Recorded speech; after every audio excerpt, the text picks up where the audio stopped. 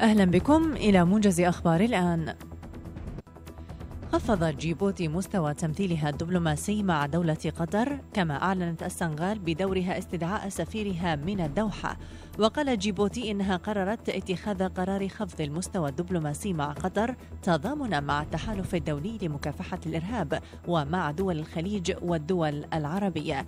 من جانبها قالت الخارجية السنغالية في تصريح رسمي إن السنغال تتابع باهتمام بالغ الأوضاع في منطقة الخليج وتعبر عن تضامنها الكبير مع دول الخليج والدول العربية.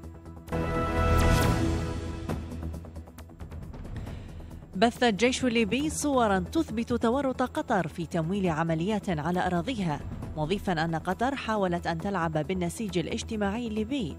وقال الناطق باسم الجيش الليبي العقيد أحمد المسماري إن قطر دعمت متشددين في ليبيا ودعا المسماري قطر إلى التخلص من عائلاتها من علاقاتها مع إيران والجماعات الإرهابية وأن تعود إلى حضن القضايا العربية.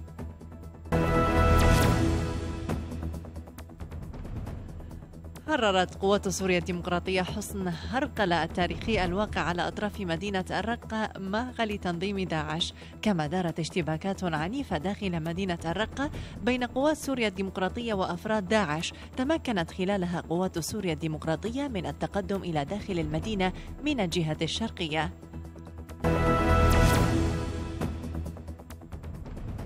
أعلن قائد الشرطة الاتحادية في العراق الفريق رأى الشاكر جودة تحرير قواته ل 85% من حي الزنجيلي ووصولها إلى باب سنجار على مشارف مدينة الموصل القديمة.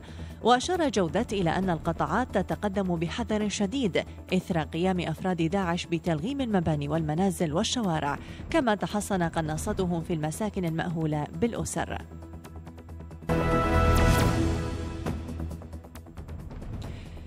ارتفعت حصيلة قتلى الهجومين اللذين وقعا في العاصمة الإيرانية طهران إلى 13 قتيلا ونحو 43 جريح.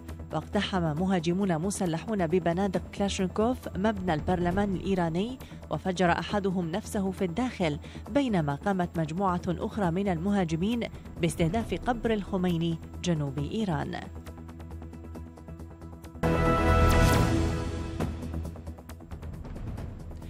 حذر الرئيس الأمريكي دونالد ترامب طهران بعد الاعتداءات الدامية التي استهدفتها من من يدعمون الإرهاب ويعرضون أنفسهم ليكونوا من ضحايا الشر الذي تدعمه. من جهة أخرى أبدى ترامب تعاطفه مع الضحايا الأبرياء لاعتداءات طهران التي تبناها تنظيم داعش.